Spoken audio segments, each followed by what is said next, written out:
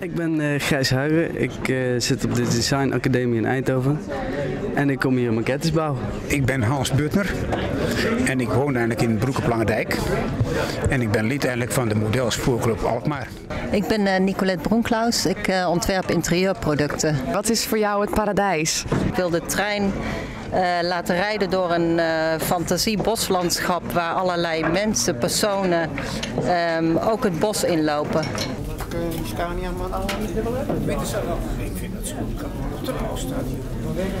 We're talking about the show that is happening at Platform 21 on miniature building, uh, exposing um, the creative potential of um, miniature and combining different points of view and bringing in a broader audience to celebrate this form of creativity. Hi, zou je jezelf voor kunnen stellen? Ja, ik ben Gerrit van der Meij uit Den Haag. En wat zijn de specifieke kwaliteiten van miniatuurbouw um, voor jou? Je zegt al, je kan het maken zoals je wil. Mm -hmm. En dat is het grootste verschil met levensgroot? Nou, dat is een beetje een verschil met, met het werk wat je zeg maar, uh, betaald uh, doet. Uh, je hebt hier de vrijheid om, om zelf dingen in te richten, je keuzes te maken. Je kan hier een, een kwaliteitsniveau nastreven waar, waar in de werkelijkheid soms helemaal geen, geen ruimte meer voor is. En ik denk soms dat, het, dat je je eigen droomwereld schept. en die kan je zo mooi maken als je wilt.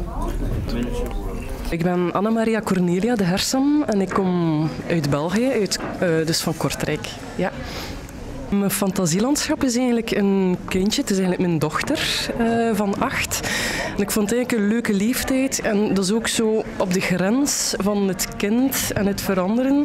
Dus eigenlijk van het paradijs naar het werkelijke leven. Of dus um, de bewustwording van, ja, van het dagdagelijkse leven ook. En um, ik laat dus het treintje erdoor rijden en telkens dat het treintje erdoor rijdt, um, is het de bedoeling dat uh, rond het hartje een cirkelvormig rode ledjes gaan oplichten. Dus telkens dat je eigenlijk van het paradijs kunt genieten.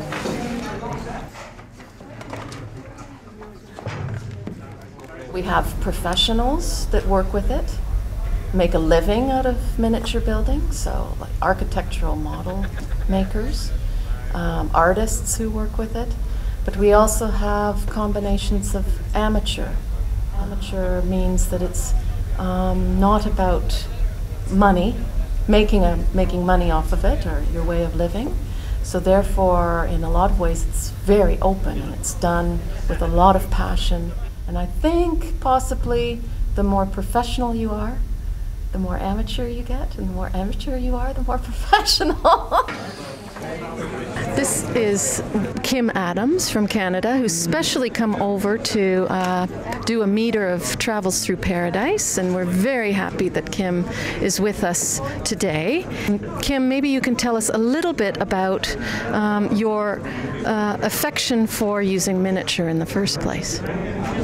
Yeah, I guess for me it's been you know it's been quite a while, but what's clear is that when I'm working on the miniatures, it's something that I don't have to commit to, and it gives me that freedom to play. I think it took years and years to to relax on the idea of working with miniature mm-hmm. and playing with this stuff.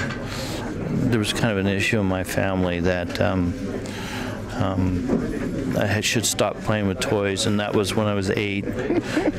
so it's moved on. Now I'm making a living from it.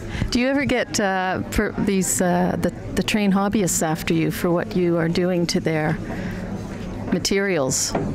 I have, I have. There's a split audience in that. Um, uh, they know what I'm doing, you know, especially in Ontario, because I'm buying from them, and at the same time, the name's out there.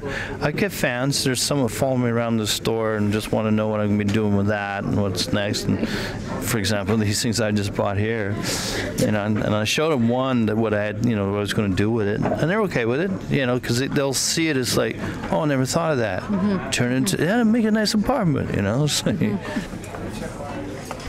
My paradise is full of cotton candy.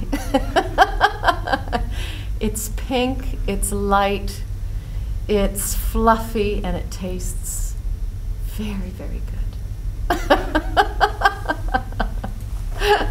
but I don't want to stay in it forever. I don't mind eating my way out of it.